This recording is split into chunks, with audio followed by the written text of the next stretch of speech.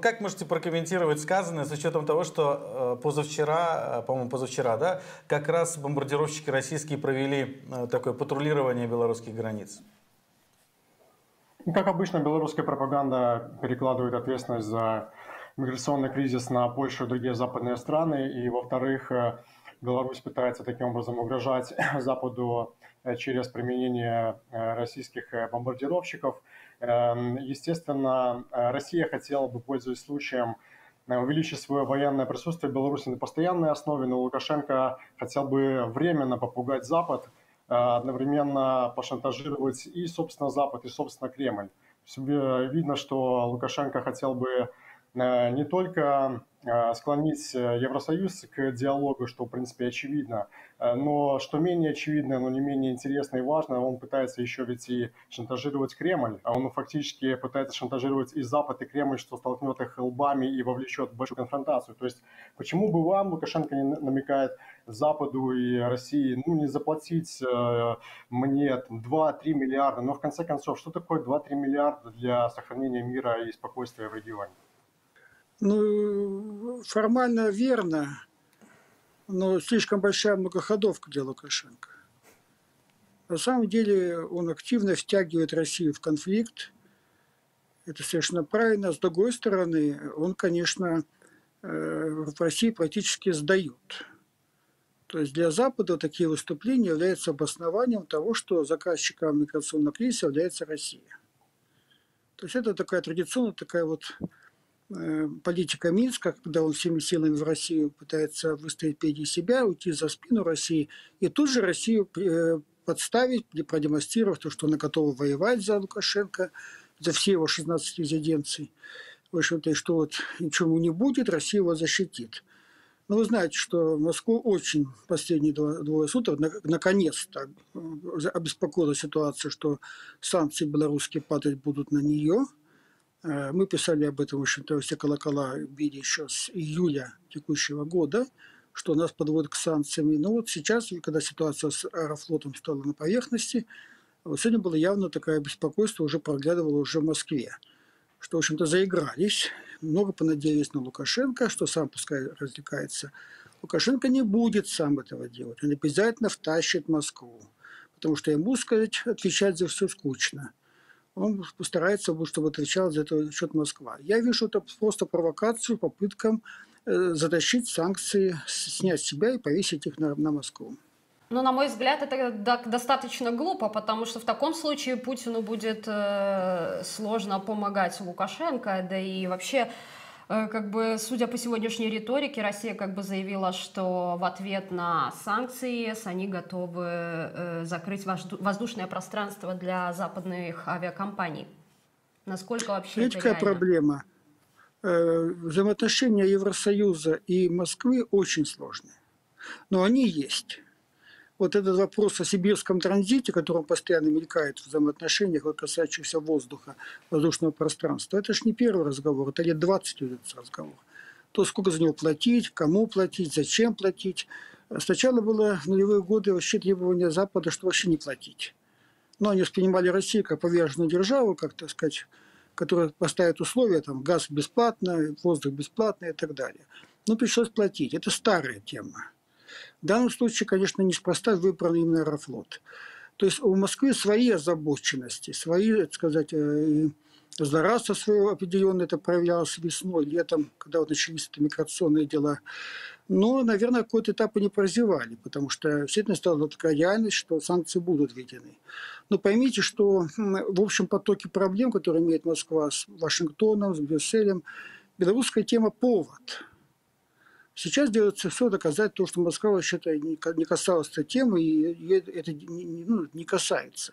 Но дискуссия тяжелая по этому поводу идет, потому что я, лично я объяснял сегодня на двух каналах о том, что, понимаете, э, Запад обвиняет Москву, что она поддерживала миграционный кризис, что она в нем замешана, является заказчиком. А на чем они обосновывают? На том, что между Москвой и между Россией и Беларусью нет границы. То есть в их голову не приходит так, что это можно устраивать миграционный кризис, не согласовав страну, с которой ты соседствуешь, которой у тебя нет границ. Я объясняю, что как раз это можно. Вот как раз это все Лукашенко сходило с рук. В общем, такие вещи вот ну, не впервые мы сталкиваемся. Я напоминаю, что был тропа была для грузин в России, тропа была для украинцев в России. Вот сейчас тропа для мигрантов вроде на запад, но если что случится там, мы знаем, что там сделали концлагерь, выйти из лагеря уже невозможно, и ситуация прорвется, то это опять пойдет в Россию. В общем-то, то есть, так, знаете, там это сложное переплетение, там не так однолинейно, что вот есть Лукашенко, есть Москва и так далее. Но, в принципе, Москва занервничала.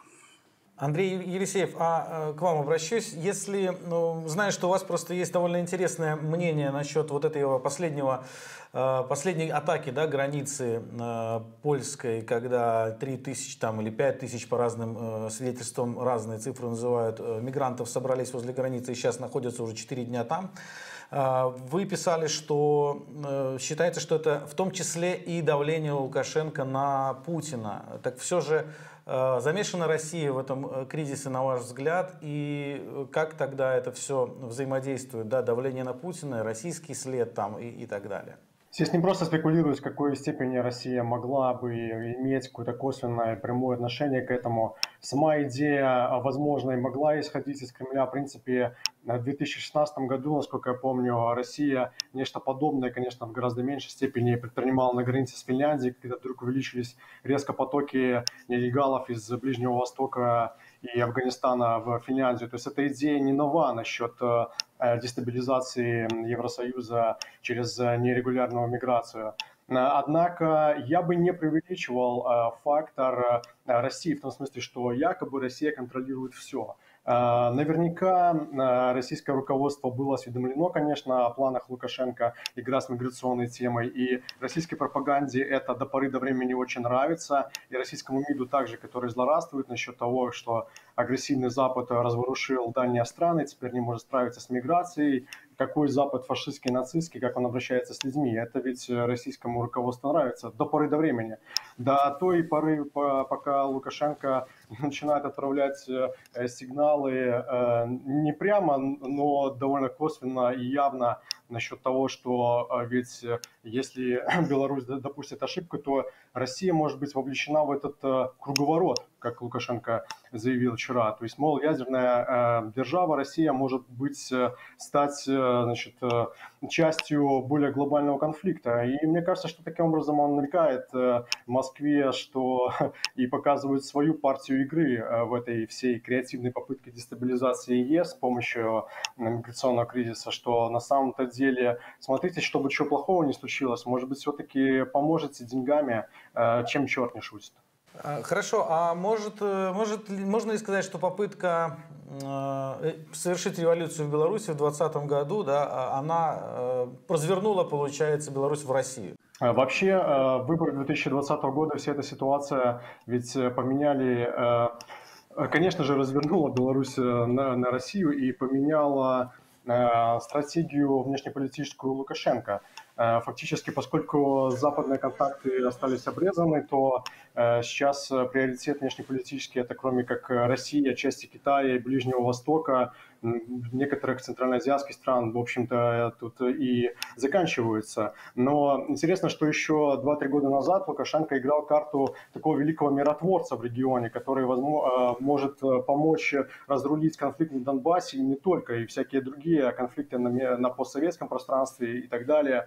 Э, и вот эта миротворческая карта, она, в принципе, приносила ему бонусы. То есть Евросоюз в 2016 году и санкции отменил, и дал доступ к некоторым финансовым инструментам, и с помощью этих более глубоких отношений с Западом Беларусь и из России больше ресурсов убивала. 2020 год все изменилось, сейчас все поменялось, э, перевернулось с ног на голову. Лукашенко сейчас фактически играет не роль миротворца, а войнотворца. То есть фактически он э, угрожает и Западу, и России, что может породить глобальный конфликт, столкнуть э, их лбами, если ну, если ему финансово не помогут, в конце концов. Но, но Россия реально может э, вступить в какие-то боевые действия э, вот, ну, в связи с вот этим мигрантским кризисом, да, и... Да если Россия, в принципе, не участвует, не контролирует этот весь процесс миграционного кризиса, то почему вдруг э, военные, российские военные самолеты появляются на территории Беларуси и контролируют что-то? Ну, я не согласен, конечно. Дело в том, что Россия не повернулась к Беларуси, Беларусь не повернулась к России за последние полтора года Беларусь не сделала ни одного шага в сторону России. она, а, а, сказать, подписала э, интеграционный декрет, который она выполнять не собирается. Мы это уже поняли. То есть это, вот это обострение с мигрантами, это как раз вариант того, что у меня на руках война, помогайте, дайте деньги. И вот Короченко прибыл в Москву вчера вечером, сегодня выступал с утра на 60 минут. Он говорит, да, 500 миллионов на стол. Это, знаете, вот от политики двухвекторного балансирования Лукашенко перешел к политике двухвекторного шантажа. Он шантажирует и Запад, и шантажирует Россию. Какая интеграция, какие дела, когда надо вот срочно спасать страну, вот что-то форпост на Западе, поднимайте самолеты и так далее. То есть обеспечивайте меня, ограничите традиционная иждивенческая позиция минского руководства, вы мне охраняйте, вы мне деньги давайте. Так что в данном случае никакого шага вперед нет. Крым он не признал, никогда не признает, и все остальное не признает. То есть это попытка действительно вернуть обратно вот эту старую российскую систему э, государственной поддержки Беларуси, дотации и так далее. Это не получается, как видим, Лукашенко деньги не получил. Вот в этом смысле это как раз надо искать российский след в этом вот скандале, этом кошмаре, который есть сейчас в Гродненской области на переходе Брузги. А воевать с Лукашенко Россия, ну, в всяком случае, конечно, не будет. Это практически означает ядерную войну. Лукашенко на это и рассчитывает. Он поставляет Москву, потому что если начнется конфликт, он рассчитывает, что Москва уступит. И тогда его значение вырастет, что называется. Он вот на, этом, на этих полутонах, на грани лезвия ножа, что называется, танцует не первый год, чисто лимитровная политика. Вот. Но, с другой стороны, он сам попал в такую, знаете, тупиковую ситуацию, потому что возвращать из этого вот концлагеря, почему концлагерь, потому что действительно он охраняет, вот, по периметру пограничниками, где не выпускают этого лагеря. Он уже вернуть их не может, он будет накапливать их, то загонять еще еще людей, чтобы найти вот критическую массу, которая должна прорвать, э, по идее, его по границе, границу. Там 12-15 тысяч польских военнослужащих, это бесполезно. В принципе, впервые сегодня мы услышали слово оружие для них и слово курды. Есть такие вопросы, наши наблюдатели об этом говорят, что происходит в лагере, что происходит в Минске – идет, конечно, и внутреннее, так сказать, мигрантское обострение.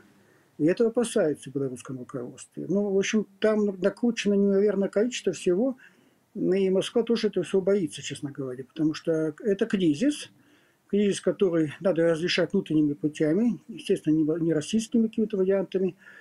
Э, естественно, нет никакого разговора о том, что воспользоваться кризисом и разместить российские какие-то здесь базы и так далее – это будет воспринято в мире как крымский вариант, это будут огромные санкции, это будет просто скандал мирового значения, он там не нужен. И мы сейчас, в принципе, смотрим только в формате, конечно, какого-то взаимодействия Евросоюза и Москвы, но тут тоже надо понимать, действительно, воздействовать на Лукашенко практически невозможно, он не меняем. Вот. И как-то поступить, если Россия вступает в диалог по поводу миграции, она тоже фактически заявляет то, что она к этому причастна это тоже санкции, тут тоже все обрезано. Эта ситуация крайне напряженная. Я думаю, что Россия, естественно, хотела бы увеличить свое военное присутствие в Беларуси в той или иной степени, однако согласен, что вряд ли хотела бы погружаться в серьезный конфликт э, с Западом по, по воле Лукашенко. Вместе с тем, я, конечно же, не соглашусь с Андреем Ивановичем в том, что Беларусь якобы не повернулась к России, якобы ничего не сдала за последний год. Беларусь фактически сдала свой информационный суверенитет, э, пусть не на 100%, но на 95% основные все нарративы на ГОСТВ теперь соответствуют прокремлевским. Лукашенко подписал Э, интеграционные карты, которые э, должны сблизить э, белорусское законодательство практически во всех сферах с российским. Беларусь продолжает также ускоренно увеличивать военное сотрудничество с Россией, гуманитарное и так далее. И то есть за один год э, прошедший случилось то, чего э, Лукашенко отбивался года три э, предыдущих. И учитывая также, что полностью разорваны отношения с Западом, и вот на фоне этого всего говорить, что Беларусь не повернулась к России, ничего не отдала, по, крайней мере, странно. Это, это значит отрицать очевидно. Может ли случиться такой вариант, что вот там преимущественно это курды на границе с Польшей, да, и может ли случиться такой вариант, что они начнут, возьмут в руки палки, автоматы и начнут э, выступать против белорусских силовиков. Мы уже видели, как вчера на видео э, они пытались вернуться обратно, белорусские силовики их не пускали, они бросали в них э, бревно. Вот может ли это как-то так закончиться? Я не представляю, откуда курские мигранты могут взять автоматы, как вы сказали, э, но наверняка а, обозленные люди в такой ситуации довольно отчаянной э, могут, естественно, взяться за какие-то там подручные средства типа палок или, или камней, и э, наверняка эта ситуация, она, она не может полностью контролироваться белорусскими силовиками, поэтому подобные инциденты могут, безусловно, продолжаться. Психовать они уже начали, там, в ход пошли там, подручные средства – а чем это все закончится, я не знаю, по-моему, сегодня эм, ну, вот утром было совещание с правительством, там было, как обычно, обозначено, чем это все закончится. Все это закончится тем, что там откуда не возьмись, ну, здесь, скажем так, предполагать, э, откуда оно возьмется, очень просто. Появится какое-нибудь оружие взрывчаткой, начнутся провокации. Об этом вот напрямую было заявлено на совещании, когда в прошлый раз там, рассказывали о том, что есть основания, там, в общем-то, подозревать, что Сергей Тихановский э, вступит э, в потасовку с милицией, но ждать пришлось менее 24 часов. К большому сожалению, э, нету желания э, выходить из э, этого своими же руками созданного кризиса миграционного э, цивилизованным путем. Сегодня э, лагерь беженцев, э, лагерь мигрантов, точнее, потому что статус беженца они еще не, они не получили, не собираются получать на территории Беларуси, посетили две уважаемые организации. Это Управление Верховного комиссара по делам беженцев ООН и Международная организация по миграции. И, в общем-то, на это обратили внимание уже многие СМИ, что впервые за долгое время вещи были названы реально своими именами. У людей, которые там скопились по, там, условно говоря, различным причинам, то есть им помогли туда добраться, у них два выхода. Э, поехать домой, то бишь прорываться через зацепление, которое выставлено а, там, вот как опять-таки сегодня утром объяснили, для того, чтобы туда не попало то самое оружие а, из внешнего периметра, честно говоря, вот слабо там представляется, каким образом по территории Беларуси могут э, передвигаться Э, какие-то конвои с оружием, но, наверное, э, действительно в Беларуси уже такая черная дыра, что просто ничего не контролируется и гуляй поле. А вторая, второй выход, ну, вполне цивилизованный, попросить э, убежище, попросить международную защиту в Республике Беларусь, то бишь в стране, в которую они въехали и где они находятся в безопасности. Это, в общем-то, международное правило, а, которым, в общем-то, все тут э, пытались как-то апеллировать на уровне эмоций, но международные правила э, таковы. Это конвенция Женевский дополнительный протокол к ней, которые, в общем-то, предполагают именно такую процедуру, что первая безопасная страна для беженцев это то место, где они имеют право и должны попросить статус беженцев. Э, никаких, э, там, условно говоря, гуманитарных коридоров через э, там, пол Европы, они хотят там во Францию, Португалию Германию, такой истории международное право не предусматривает. И вот сегодня это назвали там своими именами, только что вот желание разрешать кризис именно таким цивилизованным образом, его нет. Насколько известно, Сегодня, опять-таки, уже Ирак, э, иракское правительство декларировало то, что они готовы эвакуировать своих граждан обратно, но их банально не пускают э, назад э, в тот же самый как бы, город Минск, в который они прекрасно прилетели на самолете, они прошли через какой-то межгалактический портал. Да, есть, Анатолий, я вас э, прерву. Вот как раз тоже э, складывается ощущение, глядя на все видеозаписи, и вот я иногда мониторю прямые трансляции э, как раз-таки этих беженцев, э, складывается ощущение, что у них нет выбора. Может быть, они хотели бы каким-то легальным образом попадать в Евросоюз через Беларусь, но их вот гонят э, к границе. Легального эм, способа попасть в Евросоюз из Беларуси в той ситуации, в которой они находятся, у них нет. Легальный способ – это в Минске пойти в консульство Польши и получить польскую визу. Либо через пункт пропуска добраться до польских пограничников и им сдаться там, условно говоря, э, без э, разрушения пограничной инфраструктуры, без кидания палок и камнями там, в польских и уже как бы белорусских пограничников, которые их сдерживают. То есть, в общем-то, процедура есть, но им действительно не дают сознательно ей воспользоваться. С одной стороны, те, которые уже как бы на границе, а те, которые в городе, они, в общем-то, как бы и не собирались этого делать. Им, ну, как уже через сарафанное радио фактически пообещали, что вот классный путь, э, там всех пускают, э, там, белорусские пограничники такие добрые, что они там провожают до э, дыры в границе, и типа это нормально. Ну, Конечно, ну там, да, с видели точки сегодня зрения... такую рекламу, как раз таки, которую пускают э, в Ираке, как все радужно в Беларуси, прекрасные люди Да. на это смотрят и, Не, э, да, с, с точки зрения как бы вот этих товарищей, которые таким нелегальным способом хотят попасть в Европу, ну, их в некотором смысле можно понять. То есть у них фактически там несколько маршрутов, как попасть. Один по морю, который там был традиционный, но там, в общем-то, достаточно большие риски, не, все, к сожалению, доплывают, потому что все эти суда идут перегружены. А тут по суше прекрасный, там, с сервисом, э, реально там визы, сопровождение до границы, все как бы по высшему разряду, но, э, к большому сожалению, в общем-то, эм, приграни... э, сопредельные с Беларусью страны из Европейского Союза, они вспомнили, что у у них есть все основания этих э, незваных гостей к себе не пускать.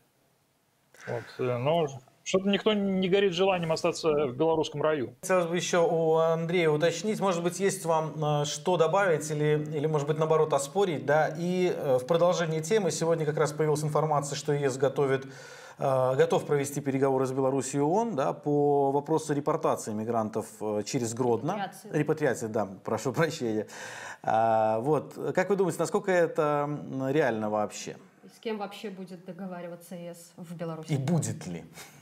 На мой взгляд, ситуация, возможно, немного более сложная, чем описал Анатолий, в том смысле, что если э, группа мигрантов все-таки попадает на территорию Польши и Литвы, и если эм, информация о том, что э, их заявки на убежище не рассматриваются, а на их эм, далее провождают вновь в Беларусь, я полагаю, что тут можно оспорить э, э, то заявление, что якобы здесь нет нарушения международного права.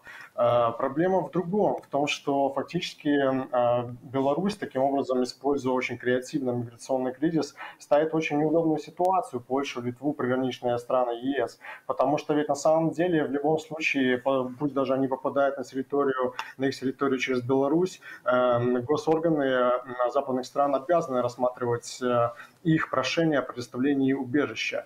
Э, И вот здесь э, фактически Лукашенко нашел слабую э, сторону, слабое место э, соседних стран, в том смысле, что и об этом постоянно говорит белорусская пропаганда. Смотрите, вы ведь нарушаете международное право, вы нарушаете в, в конце концов свои ценности, вы должны и обязаны, э, если уж в конце концов э, группа людей попадает на вашу территорию, как минимум рассмотреть их прошение об убежище э, и, возможно, дать им это самое убежище или международную защиту, даже если у них и нет на то оснований, если речь идет, скажем, о беременных женщинах и детях.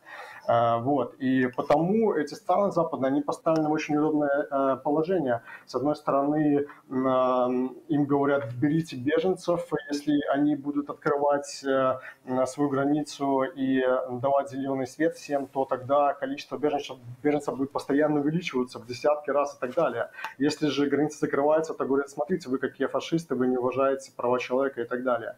Э, Проблема в том, что и почему на это смотрит Евросоюз так, как а, есть на самом деле сейчас, он разделяет ту ситуацию, которая есть с попаданием беженцев по Средиземному морю и через Беларусь, потому что с одной, то есть, э, в первом случае эм, мигранты сами преодолевают природное э, препятствие, чтобы попасть на территорию ЕС, а во втором случае налегает ЕС. Беларусь сама способствовала их привлечению на свою территорию через э, дополнительные авиарейсы и так далее. И таким образом эта ситуация качественно иная. Именно это утверждают западные страны. Что, что касается возможной э, кампании по Э, транспортировки беженцев э, через аэропорт Гродно, вполне возможно, часть беженцев э, согласится на, на этот маршрут. В конце концов, наверное, не все ожидали, что настолько сложно и будет во всех отношениях преодолеть белорусско-польскую границу. Однако я сомневаюсь, что это разрешит проблему и что тем самым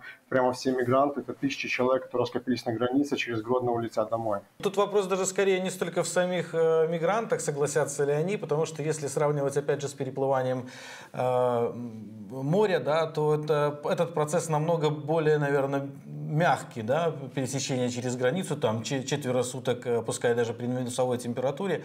Вот. А вопрос, пойдет ли Беларусь на вот эти переговоры и ну, согласится ли она на то, чтобы часть мигрантов вернулась обратно благодаря там, не знаю, э, тем же самым, э, тому же самому курдскому руководству. Вот Анатолий хочет, тянет руку ответить. Давайте с вас начнем. Да.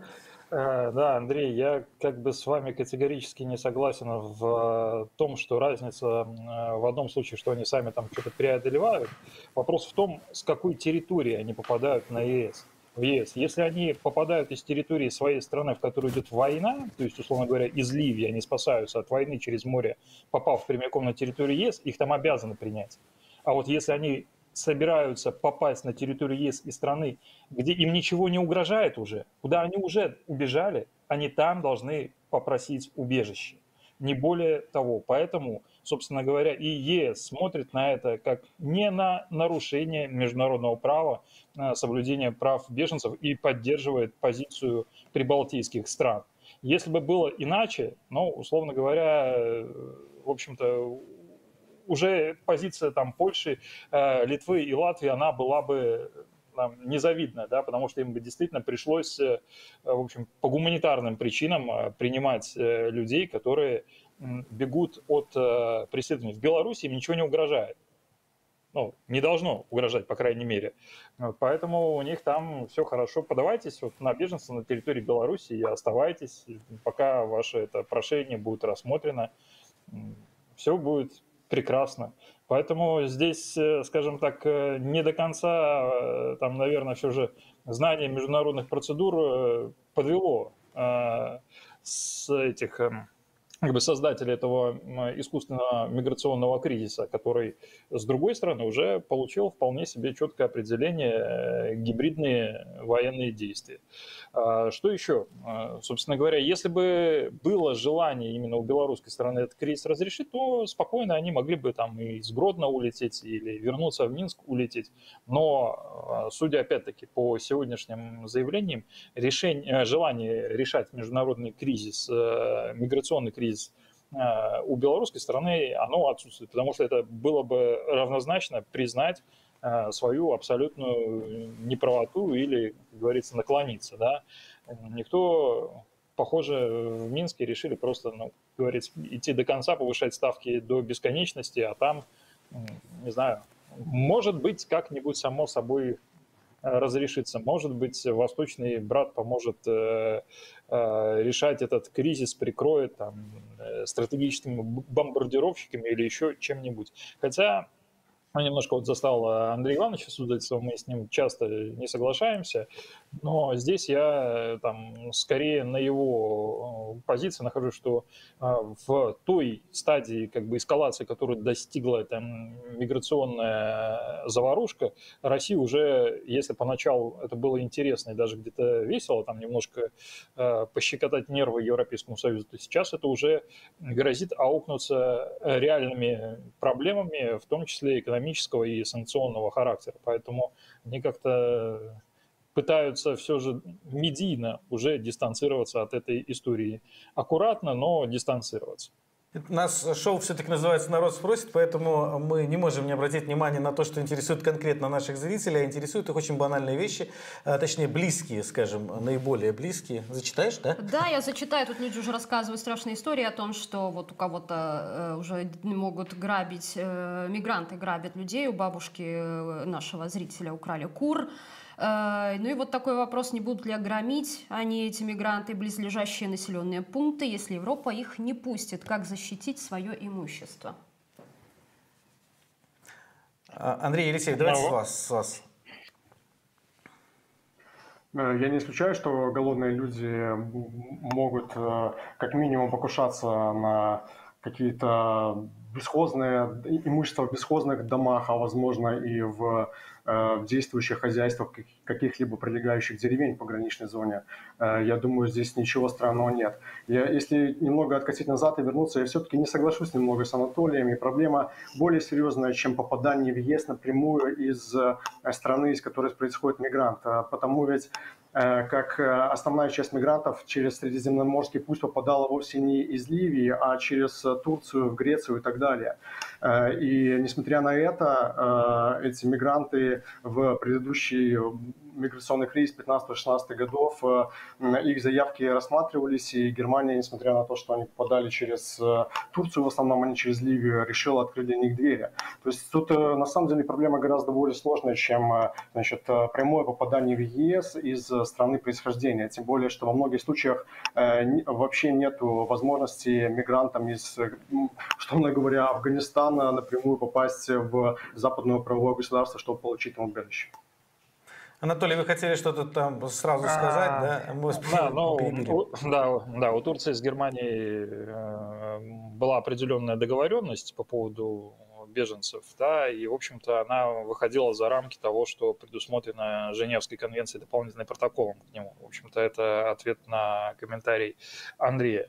А, то, что возможны конфликты с белорусским населением, которое было достаточно толерантным, пока, в общем-то, мигрантов э, в Беларуси не было так сравнительно много в одном месте. А, это, ну, к сожалению, к гадалке не ходи. И опять-таки, судя по всему, есть установка на мелкие, а может быть и не мелкие истории, связанные с правонарушениями со стороны беженцев у правоохранительных органов Беларуси э, не реагировать, просто не реагируют. То есть у белорусов, в общем-то, нет легального права защитить себя от э, средства фактически, да, гибридной войны, от не очень прошенных, не очень званых гостей.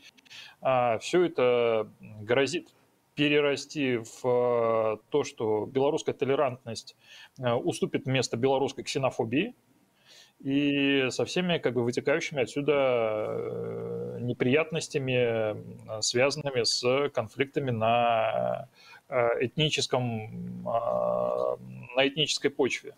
А, единственное средство, которое у белорусов, по сути дела, наверное, в такой ситуации осталось, это сесть, особенно тех, которые как бы находятся в, приграничном, а, в приграничных районах или там центрах скопления э, мигрантов э, в Минске и других городах, это закрыться дома и по минимуму выходить на улицу, избегать мест, где они концентрируются, поскольку чем холоднее будет, чем голоднее они будут, тем, ну, к сожалению, физиология будет брать свое, а еще к тому же и стадный темперамент, вот это вот стадное Э,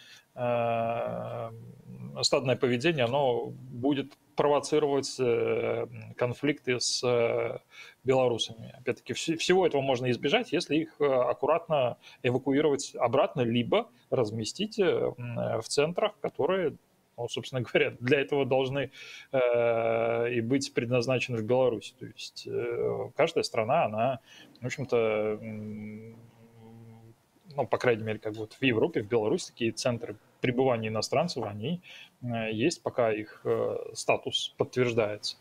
В общем-то, было бы желание решить кризис, его можно решить. Иначе э, вот такие вот как бы конфликты эм, будут появляться и будет появляться чаще, но можно пробовать обращаться в правоохранительные органы, но, судя по всему, это затея практически бесполезна, за исключением фиксации статистики. Не, я согласен в том смысле, что большое количество э, мигрантов, и, которые находятся снова-таки в голоде и холоде, э, их э, попытки раздобыть еду, в конце концов, могут э, встречаться, могут сопровождаться, вернее, покушением на имущество белорусов, которые живут в пограничной, пограничной зоне. Более того, те мигранты, которые находятся в Минске и также находятся, находятся в каких-то стесненных экономических, финансовых ситуациях, эм, действительно и количество инцидентов каких-то с их участием могут увеличиваться. Мне кажется, это довольно предсказуемо и логично, это абсолютно неизбежно. Давайте вернемся к событиям сегодняшнего дня. Э, вот э, появилась такая довольно э, удивительная информация после нескольких дней довольно агрессивной атаки на польскую границу, да, рубили топором колючую проволоку, замахивались лопатами, кидались бревнами и так далее.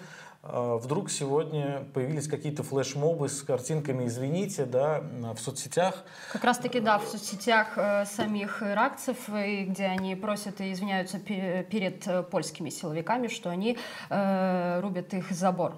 Как вы можете это прокомментировать? Э, мне кажется, это очень интересное событие в том смысле, что наверняка такой ход, можно сказать, пиар-ход курдского сообщества, миграционного сообщества, как бы это ни называлось, наверняка он не был согласован с, в какой-то степени с белорусской стороной. Здесь э, как раз-таки э, курды, наверняка оценив э, медийное сопровождение всей этой истории в поисках западных СМИ, решили таким образом эм, сыграть и, в общем, ответить, что дать такой посыл, что они в действительности не являются некими Э, преступниками, вредителями, которые вот желают э, поломать э, там, забор на границе ЕС, а что они являются жертвами, людьми, которые требуют помощи ЕС, в конце концов. То есть это, на мой взгляд, довольно интересный и правильный ход курдского миграционного сообщества с посылом на западного зрителя. Ну хорошо, вот э, э, они э, говорят таким образом, что мы делаем то, что нас заставляют, мы этого не хотим. А, но а чем их могут шантажировать-то? Ну, насколько появляются разные фото-видео отчеты, то э, всякое бывает. И э, да, насколько я понимаю, э, некоторые группы мигрантов э, на самом деле находятся в стесненном положении в том смысле, что они ограничены в свободе перемещения, и им невольно э, покинуть определенные приграничные зоны и вернуться в Минск. Насколько я понимаю, проблема для части мигрантов состоит именно в этом. Ну вот мы сегодня видели много видеозаписей, как в Минске собираются новые толпы мигрантов. Они сами говорят на камеру, что в курсе о тяжелой ситуации на границе с Польшей, но тем не менее они готовы туда ехать и прорывать границу с Польшей. Откуда вот у них такое рвение? Рвение очень простое. Это говорится, чистейшей воды экономика в том числе, да, даже если взять там ту цифру, которая была опубликована а, в российских медиа 2600 за визу а, с человека, в Германии она, там, скажем, на плюс можно выйти на шестой месяц, получая пособие, ну, я так утрирую, если ничего не тратить, конечно. Вот, поэтому люди вложились в это уже путешествие. Назад э, дороги, как говорится, э, не сильно, не сильно она, наверное, есть, поэтому только вперед к европейскому счастью. Ну, что, можно сказать? Там, если первые люди, они находились где-то в состоянии, в том числе заблуждения относительно ну, там, скажем, безопасности и отработанности этого маршрута, то дальше это уже чистейшей воды манипуляции, и э, сложно там, какими-то логическими соображениями объяснить, э, почему, несмотря на то, что ты знаешь, что тебя, в общем-то, как бы ничего там хорошего не ждет, а еще можно там как минимум замерзнуть, э, заболеть, э, голодать или эм, попасть под серьезную раздачу, а есть и случаи там, смертей, к большому сожалению, на границе. А, но я не знаю, то есть э, слабоумие и отвага. На мой взгляд, эм, неправильно в целом говорить про всех мигрантов эм, значит, совокупности, что вот у них некая есть единая мышление, есть единое понимание ситуации и так далее. Я допускаю, что большинство из них, э, вероятно, в курсе, с какой ситуацией они могли столкнуться. Это был риск осознанный.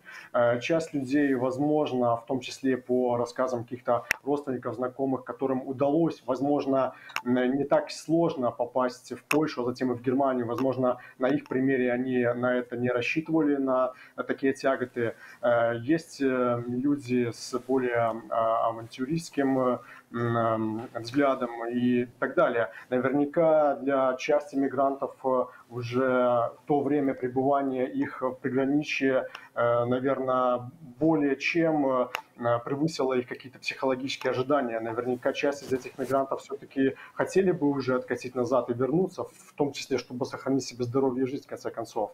А часть мигрантов наверняка нацелены так, как они и заявляют, то есть э, там смерть или там, Германия, условно говоря. То есть, э, наверное, не э, стоит иметь в виду, что есть все-таки разные группы мигрантов, и, наверное, часть, большая часть из них, наверное, шла на осознанный риск, но многие, возможно, и не осознавали вообще ту политическую игру и те эм, невероятные риски, в том числе для их жизни, с которыми они могут столкнуться. Немножечко отходя от тематики мигрантов, э, заглядывая в будущее, хотелось бы порассуждать, так пофантазировать. Э, если Россия не замешана в миграционном кризисе и сейчас будет идти на попятную, якобы он не с Лукашенко и не замешан в этом, э, с следующей недели вступают санкции, потом еще одни санкции США, Великобритания в том числе хотят вводить, то есть в декабре уже санкции, которые перед этим были введены, уже вступают в силу, то есть очень сильно ударит это все по экономике и по режиму Лукашенко в том числе. То есть получается, получается, Лукашенко становится более уязвимым и более зависимым от Путина. И вот может ли случиться так, военные войска российские так уже и на нашей территории, может ли нашу страну в дальнейшем будущем ждать судьба Чечни, что наша страна просто станет дотационным как бы страной, таким государством, просто со своей якобы властью? Я скажу непопулярную вещь. Мы и так уже дотационная дотационный регион на протяжении большого э, времени, более 130 миллиардов Россия потратила на дотации режиму с тем, чтобы он вместо того, чтобы вот все эти средства использовать для развития инвестирования э, в будущее, он их просто проел.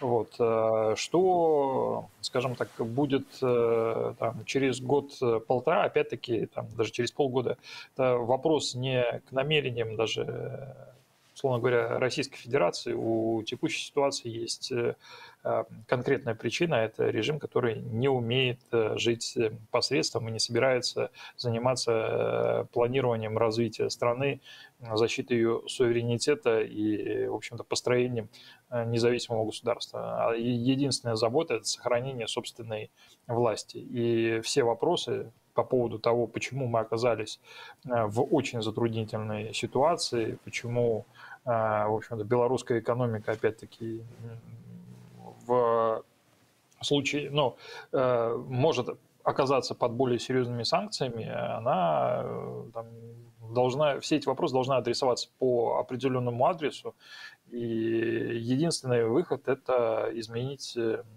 систему, изменить, сменить режим в стране и в общем-то, начать строить действительно новое демократическое суверенное государство, пройдя через все трудности э, переходного периода, которые умножены на то, что, в общем-то, за 27 лет экономика не развивалась, а скорее, в общем-то, не использовала те возможности для развития, скорее, наоборот, консервировалась в режиме а, функционирует ну, в режиме, который позволял э, зарабатывать только очень ограниченному кругу людей. Сегодня вот опять буквально э, прошла информация о том, что руководство там МТЗ и Белаза э, задержано за многолетние крупные взятки. Но вот, собственно говоря, очередное подтверждение того, что это, этот режим не о развитии, этот режим о деградации. Ну, судя по решительным заявлениям ЕС, действительно э, речь не о каком-то откате и по понуждению к диалогу, а санкции действительно будут лишь э, увеличиваться. Эм, и то заявление, которое сделал Лукашенко насчет э, возможной остановки транзита газа через Ямал, Европа, оно на самом деле не такое сильное, как могло бы быть несколько лет назад. Ведь на самом деле с запуском Северного потока «Газпром» и планировал в последнем квартале квартале этого года на 80% сократить э, значит, подачу газа через этот газопровод. То есть на самом деле этот э, козырь Лукашенко уже намного эм, утратил свою силу, чем он был до запуска Северного потока. И здесь, кстати, у Путина есть интересный контраргумент в разговорах с Меркель, что ведь смотрите, я вот на самом деле и предусматривал всякие такие э, интересные э, возможные события со стороны непредсказуемых партнеров, транзитных государств. Вот мы э, и построили Северный поток, смотрите, как все работает. Э, Россия, естественно, хотела бы из этого конфликта извлечь э, во-первых, дестабилизацию ЕС, с другой стороны, увеличить свое военное присутствие в Беларуси. Это так. Э, мне кажется очень уместным то слово, которое Екатерина применила, чеченизация. Эм, ведь на самом деле происходит постепенная чеченизация, так сказать, формата отношений Минска с Москвой. Ведь эм, а что такое Чечня? Это несмотря на то, что регион России, тем не менее, чеченское руководство имеет несколько больше суверенитет над своей территорией, чем другие регионы России. Так, Кадыров позволяет себе привлекаться публично с российскими высокопоставленными чиновниками, например, и так далее. А, и Беларусь а, вот сейчас подписывая интеграционный, я имею в виду Лукашенко, подписывая интеграционное соглашение с Россией, вовлекая страну в так называемую глубокую интеграцию, он на самом деле рискует, приближает Беларусь вот к этой некоторой чеченской модели, в том смысле, что Беларусь, она э, хоть и останется формально независимой на политической карте мира, но толика суверенитета во внутренних и внешних делах может быть э, реально сравнима с чеченской. В этом состоит э, вся опасность вот этой глубокой интеграции, модель БССР-2, либо ее можно действительно называть эм, опасностью чеченизации формата отношений с Москвой. Последняя ремарка о Ямале Европа, он и так стоит уже пустой. Э, то есть перекрывать можно только пустую трубу. Ее перекрыли до Лукашенко.